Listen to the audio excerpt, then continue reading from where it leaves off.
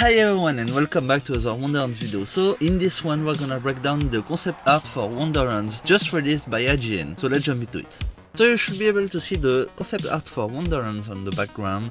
There's about 20 pictures of them and there's cool little thing uh, like those pictures but there's also gun stuff so I'm not gonna break down everything obviously. But you know we're just gonna appreciate together the whole set of pictures. So we have gun stuff like I said. Uh, we also have a bunch of creative stuff uh, like the demolish. I love the blue part. I hope that we're gonna be able to customize the pet like in Borderlands 3 and this art is amazing uh, we have those dragons, I love those colors, uh, they seem freaking cool. And of course we have this bootish room again, uh, definitely here every time there's something happening. This one's gonna be freaking interesting because we have access to all the books and sigils for the spells. I love this place, this is the final place in the third trailer that we saw and this is freaking cool. I love those weapons, amazing. But I really love those necromancers too with their stuff and everything, they look so cool. So I will be linking the article released by IGN with all those pictures in the description down below, so feel free to go check it out. There's not too much else to read there. And we have this shark, which could be pretty scary if you ask me honestly. So we also have this dull SMG that looks like the Bloodstar Beast from Borderlands 3.